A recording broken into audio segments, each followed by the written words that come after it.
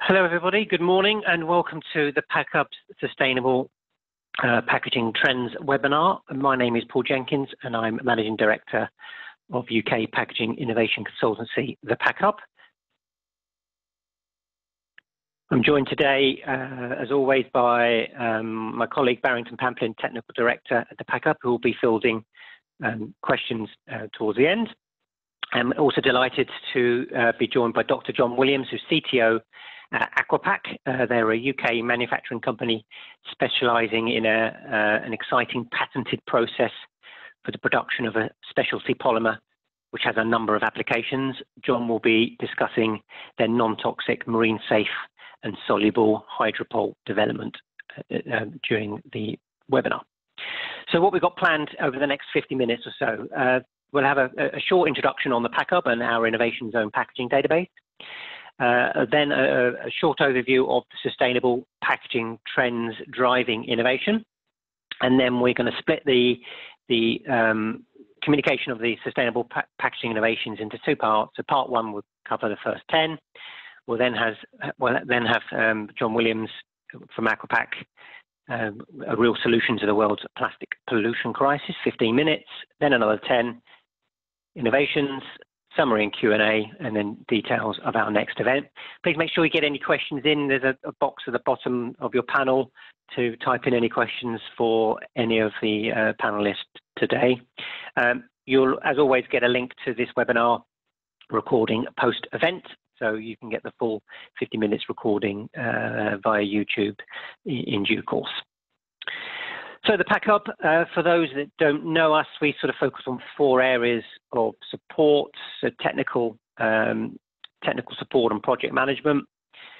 Uh, events where permissible, we're looking um, at our uh, event calendar for next year, COVID-19 compliant, and that's all be in touch shortly with news of our reorganized events for early next year.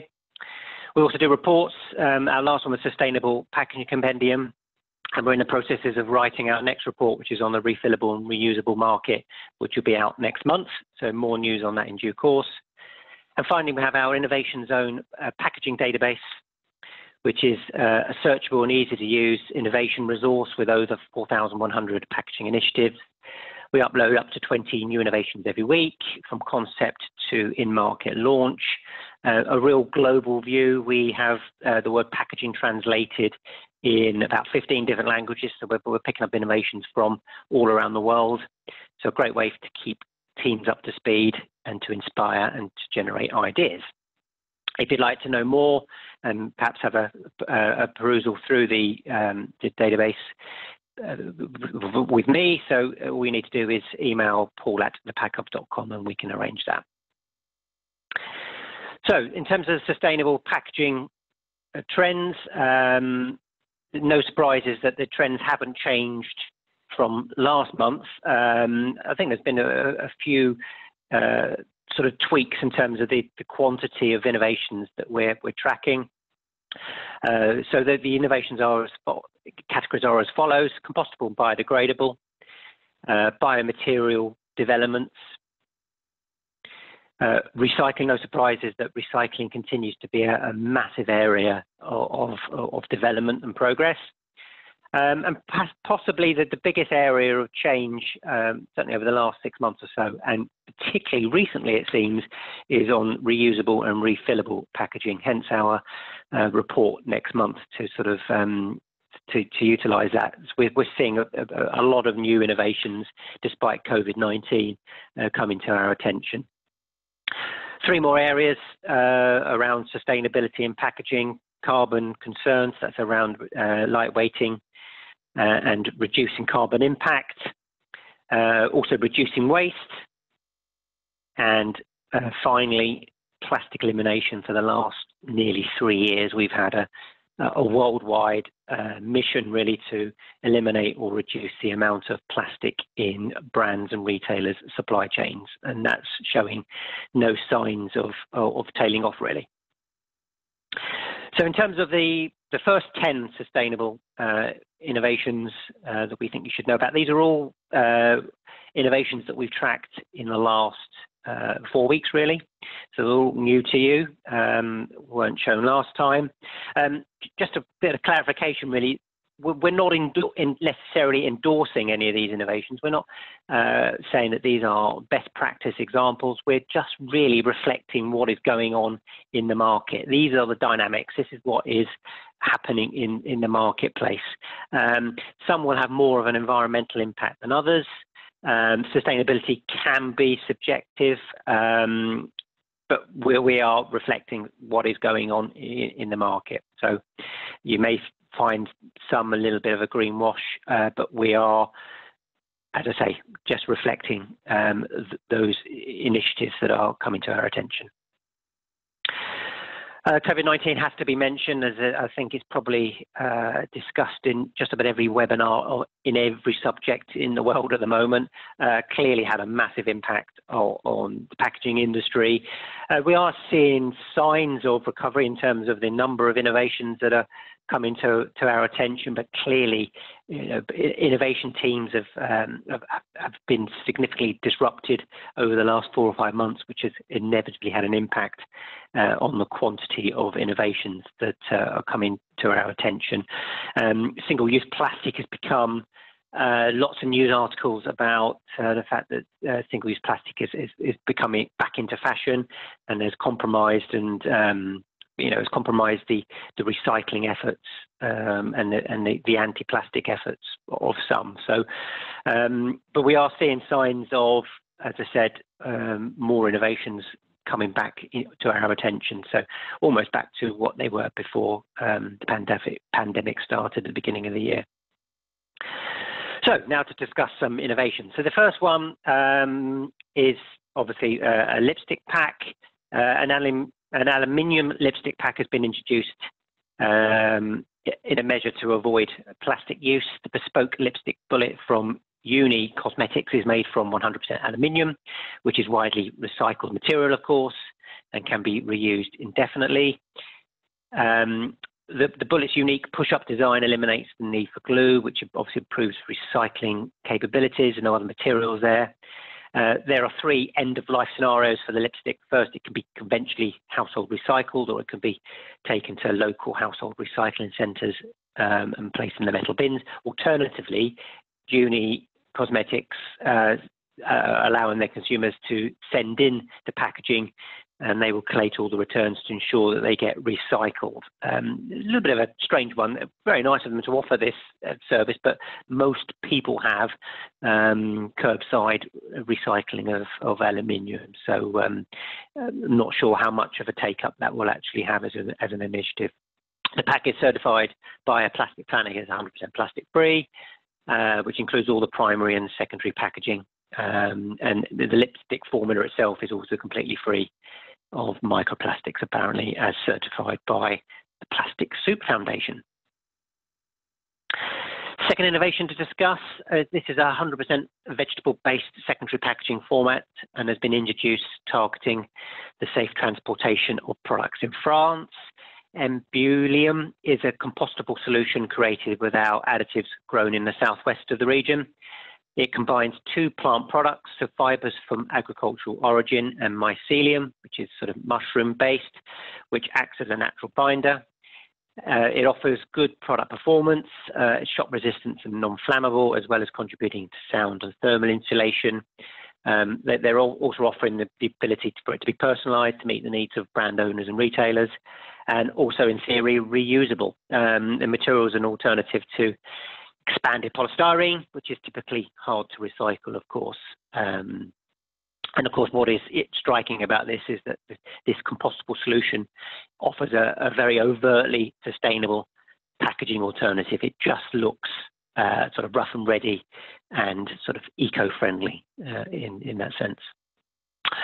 Third up, um, Spanish distributor of uh, tuna and premium salmon, Aram, is reaffirming its commitment to sustainability by using a fully recyclable, insulated, and waterproof pack format for the distribution of its products. The Catalan company is replacing the previously used expanded polystyrene. We're seeing this a lot in in, in food packaging, particularly in, in fish and seafood. the replacement of EPS packaging uh, with paper-based solutions. The corrugated solution comes via Spanish Sunbox company.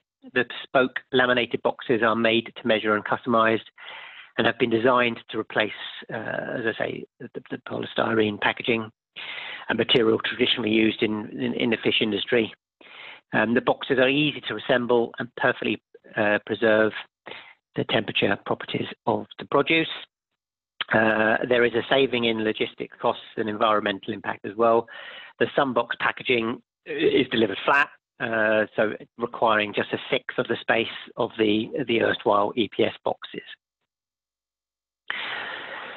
So lots of cosmetic innovation and, and, and health and beauty initiatives uh, this month. Um, this is French cosmetic brand Cozie, and they've announced the introduction of a range of unisex cosmetic products that will come in reusable and returnable uh, glass bottles.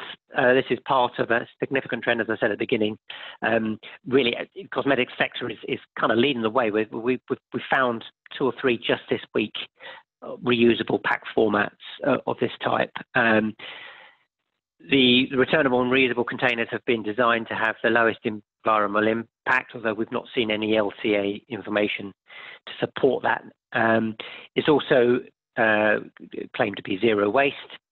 Um, the products are offered in pre-filled glass bottles. Customers can choose their Cozie product from their preferred retailer. Once the product is finished, obviously customers can then bring the bottle back to the shop and can redeem rewards for their next purchase. The bottle is washed and sanitized and goes back into the loop to be used again. The glass bottles uh, are washed and um, um, repacked and follow strict cosmetic hygiene rules. Cozie has also got a partnership with recycling expert TerraCycle for the recycling of the pumps and the products can be ordered online as well as in outlets in France and Belgium. Now, in March, we also reported that Cozie have introduced uh, an in-store refill process. So they are um, very much at the forefront of um, looking to introduce reusable and refillable packaging with two examples uh, this calendar year. Another health and beauty example um, COVID-19 doesn't really has, has, not really slowed the progression, or may have slowed the progression slightly, um, but it looks like we're all systems go in terms of uh, these innovations coming to market. Um, fragrance brands rely heavily on their packaging, obviously, to create a, a premium price point as well as support luxurious brand values, so the quality of the refillable packaging is even more important. One such brand is Giorgio Armani, who is introducing a new fragrance as part of its commitment to reduce its environmental impact. The new My Way scent is housed in a refillable bottle made from recycled and recyclable materials and is said to be used sustainably sourced ingredients. Um, L'Oreal actually has a um, the, the, licensed brand uh, offsets its carbon footprint to ensure that the My Way brand is carbon neutral, although no more information is available on, on how they achieve that. Now, it is estimated that over 7.7 billion single-use plastic water bottles are consumed every year in the UK. However, just noted um, only yesterday uh, uh, an article that says that uh, the UK citizens have uh, reduced plastic water bottle consumption by half during uh, in uh, during the COVID-19 pandemic. Obviously, not being out and about and consuming water on the go has, has severely impacted the sector, but it is still a massive market. and all the signs are that really it'll go back to normal once uh, COVID-19 is, is eventually over.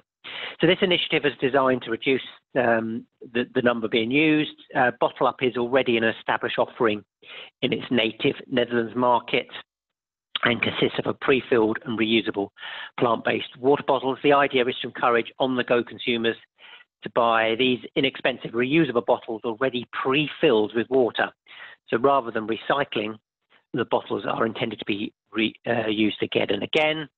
Um, the London bottle design uh, is filled uh, with English spring water and is targeted at the tourist market. 5p, 5 pence from every sugarcane based um, bottle is sold, is donated to a charity. uh, working to ensure everyone can enjoy clean water in other countries. The bottles are produced by Braskem's sugarcane-based I'm Green PE, uh, and this has been widely reported that you know sugarcane as a material, uh, every kilogram of I'm Green PE used, around five kilograms of CO2 is saved. Yet another lipstick product to discuss. Uh, all product sectors are experiencing a change in packaging formats to improve their environmental standing. This is Italy-based Lumson, um, and the business has in, announced the launch of a distinctive new lipstick uh, made of uh, PLA. Um, this version is uh, developed for Lumson offers resistance to high temperatures without deforming and promises good resistance to scratches and wear and tear. A really overtly uh, sustainable uh, offering there. Consumers, um, without any uh, wording on the packs, can be uh, not mistaken that this is attempting to be more sustainable. Now, uh, toothpaste tubes are sold in their millions, obviously every day, but the vast majority cannot be recycled. Their multi-layer construction makes them impossible to recycle in most municipal facilities a lot of work has been undertaken uh, behind the scenes, uh, and, and, that includes German consumer goods leader Henkel.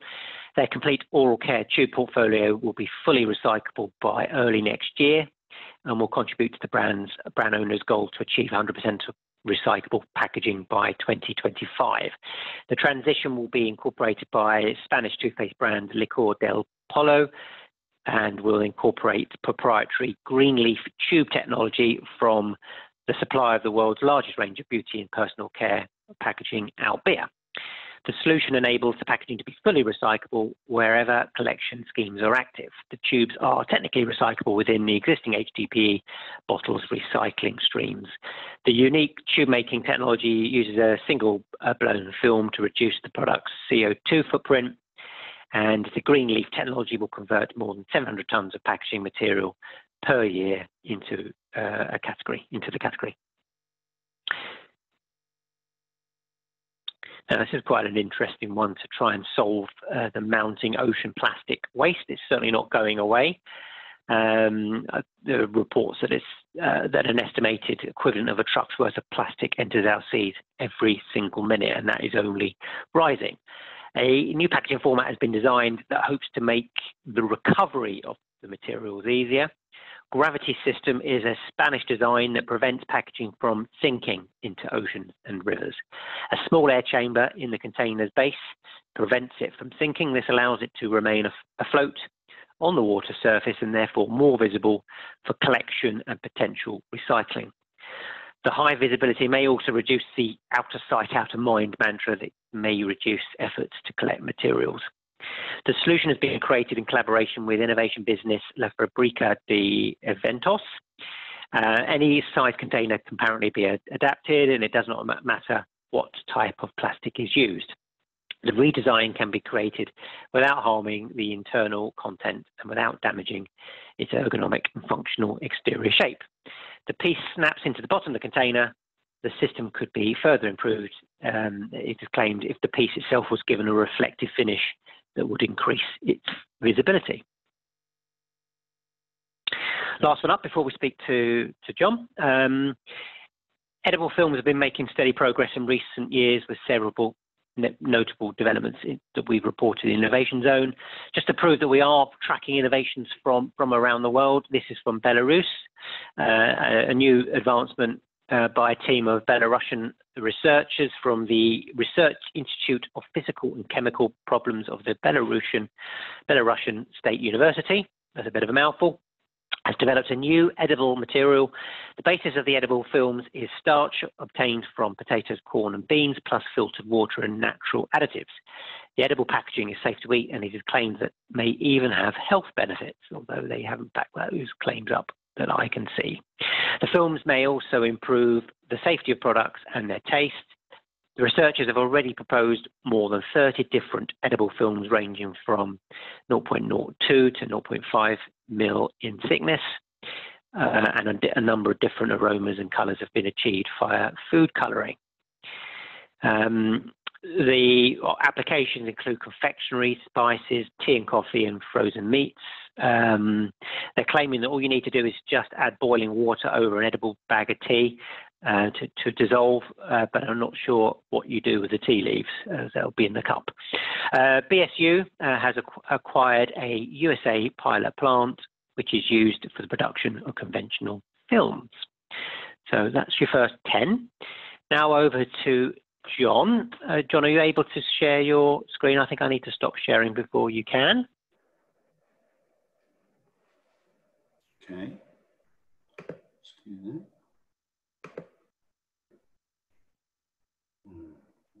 work. Hmm. Sorry, one second, I'm having a bit of a technical issue. Should work. It's my life's ambition. Yeah, there you go. There we go, perfect. It's my, it's my life ambition to do one of these handovers seamlessly, but they never seem to. Yeah, it never plan. seems to work particularly. I, I, yeah, absolutely, Paul. Uh, but, uh, oh, get, over you, John. We'll, no doubt we'll get better as we get uh, more remote. so, yes. Anyway, yeah, thank you, Paul. Um, much appreciated to be invited to, to do this, and uh, good morning, everyone. Um, I'd like to give you just a brief introduction to Aquapak um, and uh, what we do. Um, our polymer is actually uh, an old polymer. It's, it's polyvinyl alcohol, which has been around for quite a long time, since the, since the mid 1920s in actual fact. Uh, it's a highly functional material. The, the, the, challenge with it has always been to get it to process. Uh, and obviously latterly, over the last sort of 40 or 50 years or so, as, as the plastics industry has developed into predominantly thermal processing, then um, all the usual suspects, PE, PP, etc., have obviously taken over because they're very good at thermal processing. Polyvinyl alcohol is, is a challenge and uh, has, has been attempted several times uh, over the years um, to, to get it to, to perform and, and, uh, and thermally process in, in as many applications as possible. It wasn't until actually uh, we came along, uh, we've been working on this for over 10 years, um, that we finally managed to perfect the method of producing the material in pellet form uh, that can then go on to different thermal processing operations, so blown film, injection molding, thermoforming, etc., um, in, a, in a stable way. And not only um, a stable way, but also one which, which enables you to change the performance properties of the material by uh, different hydrolysis levels of the polyvinyl alcohol. So uh, clearly at high hydrolysis levels, it is resistant to hot water, uh, etc. And, and at low hydrolysis levels, it's soluble in cold water. So you've got, you can play tunes on this material, but I'll, I'll come to some of that uh, shortly. I think I'll, I'll, skip through this quite quickly because we all know the, the, the, level of the problem we're presented with in terms of the plastic pollution problem and the amount of material that we are struggling to deal with that is entering the environment in one way, shape or form. The majority of these materials are inevitably hydrophobic polymers, which, which cause some issues themselves, as we've seen in some of the marine interactions and work that's been ongoing. And we've also obviously got the demands on the global waste system itself, in the fact that you know lots of people do not have access to, to waste disposal. Um, so we need we need different solutions, and one of those solutions is is changing material. and I think you can see some of the latest trends. This is not completely up to date, but but it's it, you can see where people are obviously various national governments etc. trying to put in various bans, partial bans, levies, taxes uh, you name it. That's kind of the stick end of the market, I guess. But clearly, we need, you know, plastics are extremely valuable materials in terms of their performance criteria and what they can do. And it's important that, you know, we, we really grab this and, and make sure we, we can start to use processes, materials, combinations of materials, which, which give us uh, not only primary functionality, but, but end of life as well. And as I say, our material, it's our, our, polyvinyl alcohol is, is unusual in the fact that it's it is it's petro derived currently, can be bio derived, um, but at the moment the majority of it is is a petro derived polymer, but it's hydrophilic. Um, so usually in, in, comparison to things like polyethylenes, etc., which are hydrophobic. Um, the base materials, as I say, have been around a long time. It's, it's, it's well established as a supply chain. Um, it's it's non-toxic, it's biodegradable. It's in fact used in things like tablet coatings and, uh, and, and uh, formulated dishwashing material and things like that. So specialty applications is where you find this material traditionally. And part of that is because uh, of the fact that the processability problem that you can't enter some of the some of these markets that you would like to enter with this material because of the processability. Um, we've done a number of, and I'm continuing to do a number of uh, studies, uh, both uh, internally and independently with universities and independent laboratories on the performance of this material environmentally. So we've done composting tests and aerobic tests. We are in the midst of a two-year program with Heriot-Watt University on looking at marine behavior. Uh, we're doing tests currently on soil, etc. So there's a, there's a lot of work going on behind this because clearly we've produced the material now which is entering mainstream industry and therefore we, we need to start to understand and, and uh, answer some of these, these questions, uh, many of which have, have not been tested uh, fully before in actual fact. Um, so what are we looking at here? Well, the, the, the, water solubility and hydrophilic nature of the, of the material and the controlled uh, functionality of the material enables you to do all sorts of things, um, both on its own or in combinations with other things. Uh, so could be combinations with conventional materials, plastics and paper. We'll concentrate on paper shortly. Um, and you can also combine it with obviously bioplastics and biopolymers, etc. Because what, what this material does have is it has good barrier properties to things like grease, oil, uh, solvents, oxygen, carbon dioxide, nitrogen. It's exceptional on those barrier properties. And in film form, it has excellent tensile properties and puncture resistance and clarity and printability. Um, it can be very, very well combined with paper and board, which I'll, I'll come to very shortly, but also it can go into things like multi-laminate. So you can, for example, laminate it and replace perhaps some of the more difficult to recycle materials in multi-laminate. So for example, we did one with polyethylene, which removed a nylon and an EVOH layer. Um, this potentially enables you to wash away under controlled conditions the, the hydropol layer and leave clean PE. So maybe a route to easier recycling in terms of plastic laminate.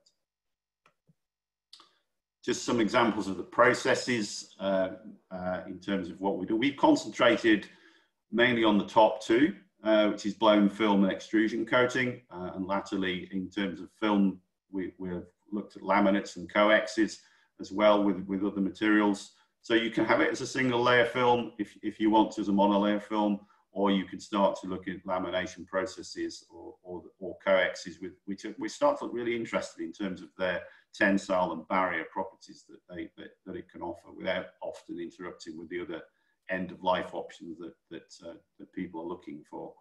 Extrusion coating is a really interesting one um, because of the performance on things like cellulosics and paper and board. It's, it's got a very high affinity for these materials, so you've, you've got potential to have a barrier board that, that has high functionality. Um, and then lastly, we've, we've not done too much work on this so far. There are a number of our commercial uh, um, customers that are working on injection molding and thermoforming. So we're, we're, but that's, that's a little bit behind in terms of, of where we are in comparison to the top two. So some examples of the end use applications, certainly not comprehensive by any means, but just gives you an indication. Um, we started really probably on the left-hand side, so fair, relatively simple monolayer materials moving to, to laminated and coex materials in things like specialty bags.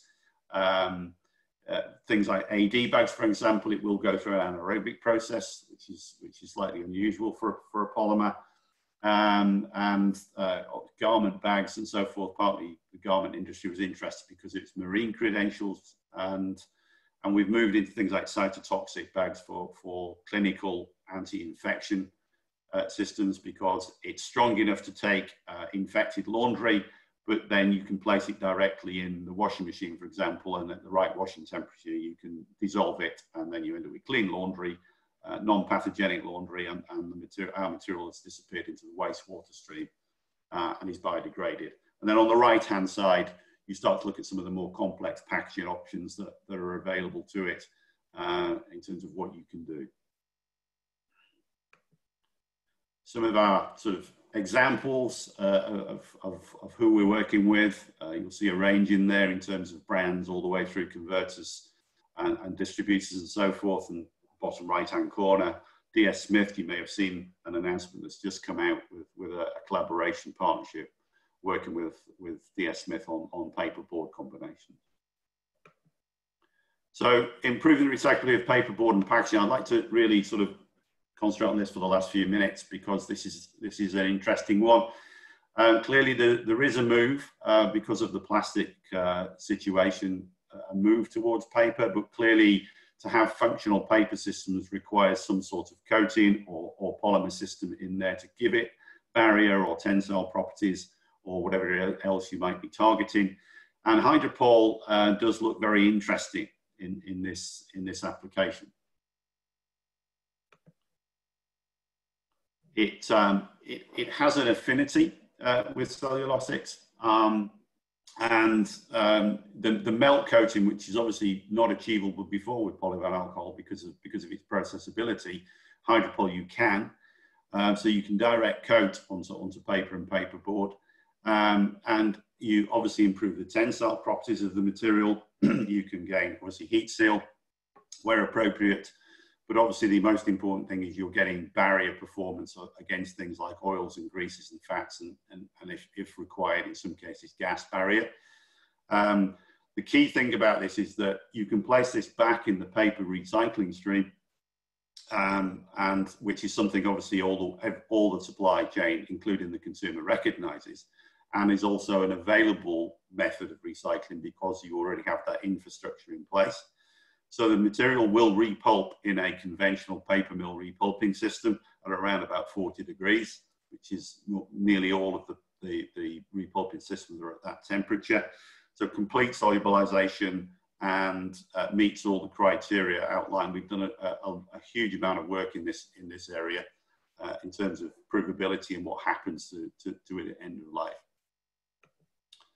life. so our material essentially dissolves in, in the pulping process um, and disappears into the wastewater treatment system of the mill. Uh, so it doesn't form any part of the mill reject stream, uh, which obviously it's a costly part if you have to try and remove solid material. It's in solution, it enters the wastewater stream and it biodegrades in that wastewater system, uh, leaving the mill with access to uh, a substantial amount of paper fiber.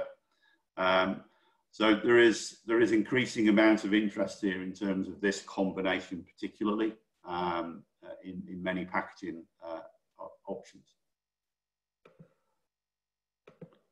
So you look, start looking at some of the, the, the uh, applications, the product applications, and you know, pet foods is a, is a good example of that. It's, it's, it, it often contains high amounts of grease or fat, fatty material, so it requires a barrier.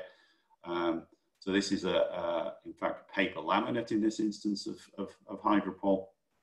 Um, and clearly you, you then have options towards driving it towards recycling via repulping, um, which currently there is no option or easy option to recycle that type of material. There is also uh, an interesting side effect, which you get good puncture resistance because of the tensile properties of, of the Hydropol material. So for example, a Hydropol film at, at, at at 15 microns is equivalent to um, the strength of a HDPE film at 40, for example. Again, you've got some more examples of form, fill, and seal systems uh, where we've, we've run on, on test lines to, to test the speed of the material, the sealability of the material, as well as obviously the construction itself. And again, you can then drive this uh, in this particular instance towards uh, towards a recyclable option via via repulping again. So again, a paper paper-based system. You can do this with a film, of course, if you wanted to combine it with, for example, polyethylene. That would be a, a, a different end of life. And then obviously we have luxury packaging uh, where we've got often laminated or coated board. So replacing things like uh, uh, polypropylene, which, which causes some challenges to the recovery of the, of the paper and the paperboard itself, um, which often is diverted into landfill or incineration whereas this allows essentially 100% recovery and, and the mills want, you know, the paper fiber, that's what they want, that's of value to them. And, and many of these paper options are not available because of, of, of the other coatings that, that, that, get in the way of that. So they're often rejected at the front end of that mill. So it does open up the potential to uh, a good message in terms of, uh, of, of, a functional material which, which gives you recyclability and is recognized, as I say, um, down the supply chain. This is a quick whiz through really in terms of, of what we do. You know, please feel free to get in contact with us. Very happy to share this brief presentation if anybody would like to see it. But please get in touch with us if uh, if you want to, to find out more about what, what we do and, and our materials. Thank you very much. Thank, thank you very much, John. Uh, really um, interesting. I, I, love the um, 21st century use of FS S um, in, in, in the packaging there. So um, there, there, will be opportunity for questions in about uh, 10 minutes. So uh, we're just going to crack on with the next um, 10 slides. Hopefully you can see that, everybody. So without further ado, um, Italian um, multinational food company uh, and actually the world's largest pasta producer, Barilla, is uh, changing its famous pasta packaging. Um, the characteristic blue cardboard box is now being produced without a small plastic window. Um, the window was seen as, a, as, an effective way for shoppers to get an idea of the size and shape of the pasta product um, and has been used extensively in food retail um, over the years, uh, but times are changing. Um, the growth of the e-commerce channel where shoppers do not select their own products for purchase um, combined with a strong desire to improve sustainability sees the window set to disappear. The plastic window will be dispensed with in order to make the packaging 100% recyclable. The change will take place, uh, I think, first of all in Italy and, and UK with other markets to follow. Um, we, in January, we also reported on um, Pukka Pies doing uh, a similar initiative where uh, they also took the window out of their uh, paper-based boxes. Uh, these aren't groundbreaking innovations from a technical perspective, but it is reflecting how the market is moving. So uh, a pragmatic view that consumers don't necessarily need to see the contents inside uh, in order to make an informed choice. Now, retailer Asda is pushing forward with their commitment to reduce uh, their own brand plastic in their packaging by another 15% by next year. Um, the, the supermarket has announced that it has become the first retailer in the UK to introduce 100% recyclable own label crisp tubes. The change will cut uh, 98.2 tonnes of non recyclable packaging from Asda supply chain, the equivalent of 2.34 million tubes of crisps each year. Asda is switching the whole of its own brand snacks range into cardboard only packaging. Um, as you all know, crisp tubes are conventionally made from a combination of foil, metal, and cardboard materials, making them non recyclable. Um, we, we believe that this, although no, there was no information to hand, we believe this is Can Packaging, who are a French-based company, and just this week have um, been taken over by Sonoco, so they're they're hot in, on the news at the moment. That's what, who we believe is the maker of that uh, packaging.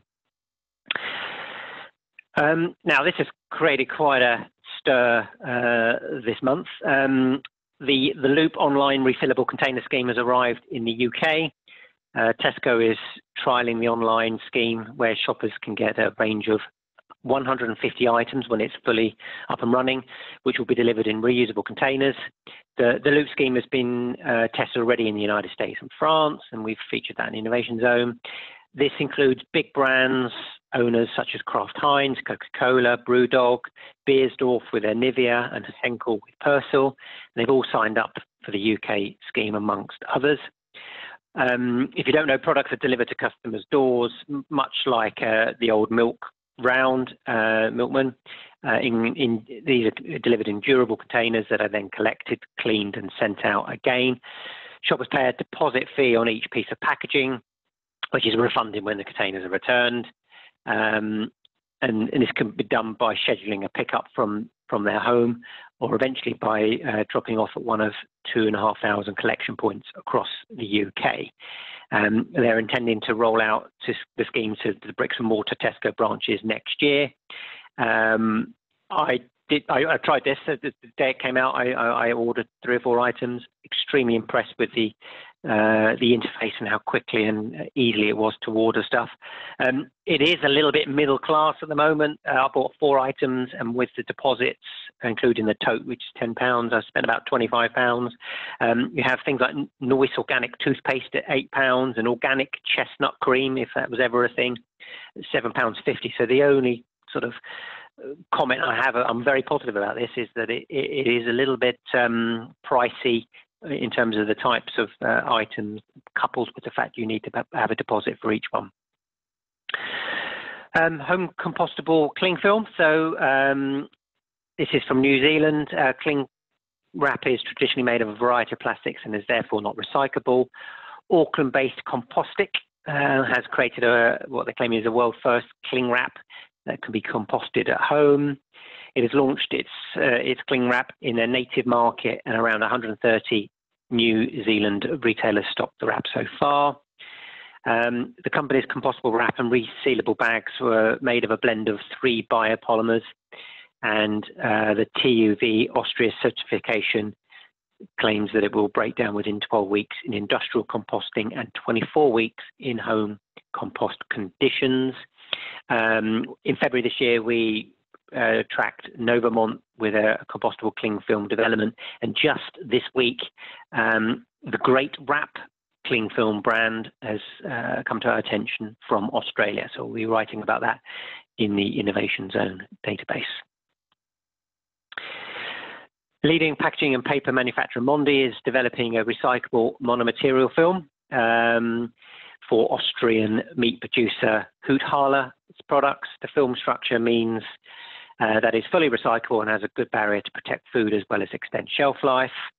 Um, the packaging change sees the use of raw materials reduced and, and uh, apparently efficient machine runnability has also been guaranteed. Um, the Independent Institute for Recyclability and Product Responsibility, the Institute Cyclos HTP, has given the new film their highest classification, AAA, for recyclability. Next up, L'Oreal has introduced uh, their patented cardboard-based packaging solution for its Garnier Garnier uh, organic hemp brand. Uh, we've reported on similar iterations of this in the past. This is just uh, example of the brand coming to market. Um, the new pack incorporates almost half of the plastic conventionally used uh, for, for, tubes of this type um, and is part of a rollout of, of, similar packs that we've we've tracked in recent times.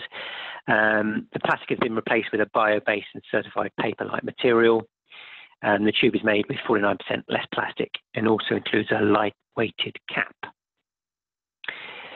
Henkel's organic beauty brand NAE has initiated a, an e-commerce pilot um, across European markets of Germany, France, and Italy. The solid cosmetic products will be available exclusively with e-commerce giants Amazon. Uh, the box contains a face body and shampoo bar, as well as a reusable soap pouch. Uh, the box is made with 100% uh, paper and is ready, paper based, and is ready for shipment without use of any secondary packaging. So therefore, looks to comply with Amazon's ships in own container policy. Uh, importantly, the boxes fit through any regular leather box as well to improve efficiencies um, the boxes are ready to dispatch and do not need to be additionally packed, which allows for supply chain simplification and cost reductions. Three more, I believe. Um, this is AR Packaging in France, who have uh, introduced a paper-based solution called SafeBoard. The initiative is being embraced by Bel Group for its Boursin uh, flavoured cream cheeses. Um, the change reduces, uh, takes away 35 tons of plastic removed from the supply chain annually.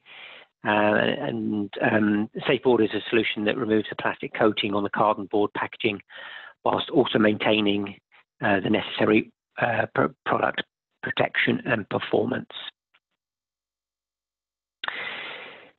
Now, um, this was, I mean, this is, it seems like a an age ago. It came out about three weeks ago. Um, Frugalpac introduced a 94% recycled paper-based wine bottle, which created a lot of attention, and we covered last month.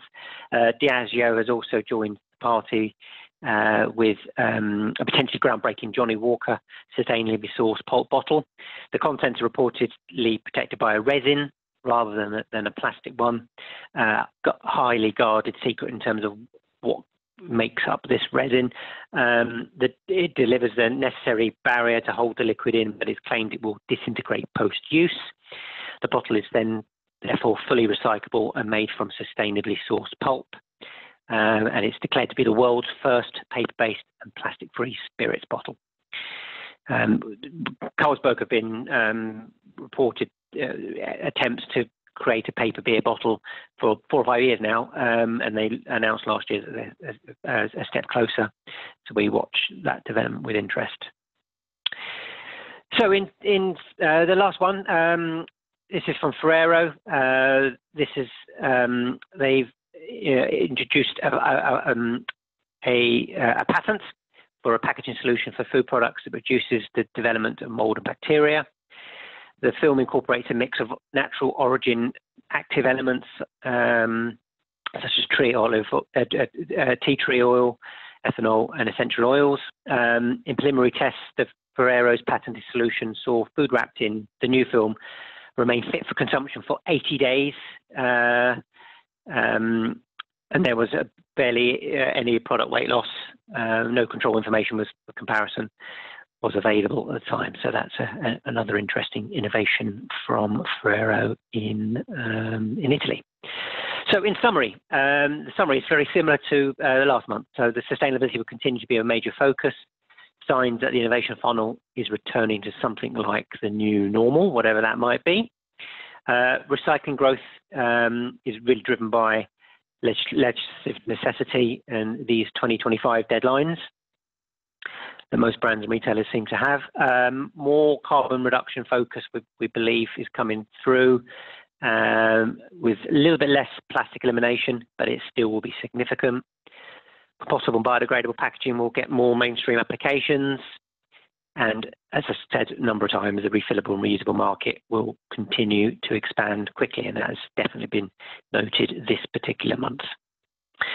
So over to Barry. Uh, have we got any questions for uh, for discussion, please? Yeah, um, majority of them are, I think all of them, in fact, are aimed at John. I see John has indicated he's happy to answer them live. So, uh, John, are you online? I Um, yeah. So, do you want to cover off the questions that have been directed at Aquapak? Yeah, can do. Uh, but Barry, now, do you so. want to read out the questions so so so John can answer them? Is that easier? Yep. It's um, can hydropol be recovered from wastewater after recycling of coated paperboard to make it more um, compatible with the circular economy? Would this process be energy intensive? Yeah, in principle, it can be recovered from solution. Obviously, it depends on, on the concentration of the materials to whether that is then worthwhile. So we have done some work um, with, with one of our co-partner universities actually uh, we have a we have some IP on the recovery. It's fairly straightforward. It's not a particularly energy intensive process. Uh, it just involves uh, a, basically a chemical step to to take it out of solution and, and then recover it. But as I say, I think you know it, you need a reasonable percentage concentration to make that worthwhile. I think the sort of indications are at the moment in relative terms because of the coat weights, etc it probably wouldn't be worthwhile. So you'd probably go through a biodegradation in the, in the wastewater process. But yeah, I mean, the answer is, short answer is yes, we can. Um, next question, would a laminate of PE PVOH be recyclable with PE? Have trials been done to assess? The rules on EVOH change frequently. Are the recyclable rules for PVOH similar? um, we, we did some, uh, we have done some work on, on different laminates of which PE was one um, uh, that was aimed at a particular application. Um, uh, I mean, technically, um, you know, it's like all, recycling, as you all know, is is is is somewhat of a minefield. Is, you know, is it recyclable? Yes, it is. Um, can, can you relatively easily remove the PVOH layer from the PE? Um, yes, you can um, it, by, by the use of, of uh, hot water solutions and agitation will remove the, the PVOH layer from the PE. um, and leave clean PE. Uh, we are in discussion with a number of, of the major waste co companies to, to look at the, the, the, how they would look at that in terms of a mixed feed waste streams, etc., and identification. I mean, clearly you can also identify the hydropol layer as well by IR if you have that facility available to it. In terms of the recyclable rules, they are changing. It's a question actually we've got asked about on, on PVOH, which we are now checking. So I don't have an answer for that yet. But uh, if somebody, if you'd like to come back to me, I think it's Paul East, is it? Uh, come back to me with my email. I've got some more detail on that, but it, it's a fairly long discussion. Okay, um, possibly a quicker one to answer now. Can Aquapak be used for coffee bean packaging, pouches or boxes with the right barriers? Can the application be sealed on a production site, i.e. heat sealed? Um, short answer to that is, is yes, it, it can, um, without giving anything away. Okay. um, more of a sort of a, a, slightly less technical question, more of a sort of a, a consumer-based question here. How do you respond to the fact that Hydropol looks exactly like normal plastic? Uh, it's difficult to visually recognize it as a consumer as a more sustainable solution with its own characteristics. Um, yeah, it's the I, I get it, um, and and obviously plastics tend to look like plastics, um, and you know whether they're whether they're bio based or, or, or petro based. I, I, I, think all we can do is continue to educate the difference between the plastic types and what options are available to that to, to a true end of life and a true circular economy solution, and, and how easy that is. So that, that, that's as far as I can go really in terms of sort of making the consumer instantly recognise it, it's always been a challenge. And I think, to be perfectly honest, it always will be. A um, couple of sort of similar questions that have popped up on the chat rather than the question um, box. Um, I see in the I see the paper plus EVOH in pouches on your slides. Can you run high speed on vertical form fill seal machines? Um, we, we have run um, several trials uh, successfully. Um, one comment from one of the, the the form fill and seal guys was that he could run that at the same speed uh, as, as he would a normal form fill and seal line with which was entirely plastic, which which did take them by surprise. So because of its tensile strength, I think you've got a lot of play in that in terms of the way it performs on those systems. And then I, think a, a sort of a, a, almost related question: Can a hydropol be used in place of BOPP packaging? Um, I guess it depends on on the end application and, and so forth. Um, you, you can orientate the film similarly to, to polypropylene and, and get different properties. Uh, I think it does, you know, I'm very happy to, to, to take that offline and, and say what, what's the application they're thinking of. Yeah. And I, I, think you've already responded. There's been a lot of requests for your slides. Um, I think yeah. these slides will be going out with all the others, won't they? And your contact details will be on there. So I think if right. people have very specific technical questions or applications, then uh, best to contact you directly, John, and, and go from there. Absolutely, very happy. And if anybody wants to visit our facility in, in Birmingham, our manufacturing facility, they're very welcome to do so. Okay. Thank you, John. I think that concludes the questions, Paul. Thank you, Barrington, and thank you, John. That was uh, most fascinating. Brilliant.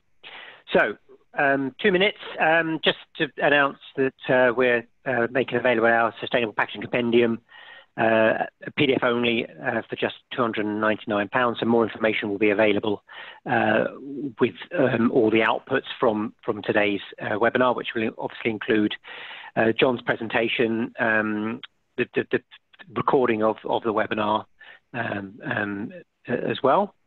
Uh, so next up is our next webinar will be um, Thursday, the 3rd of September, again, uh, the two times of uh, this time and also 1 p.m. Eastern Time, which is 6 p.m.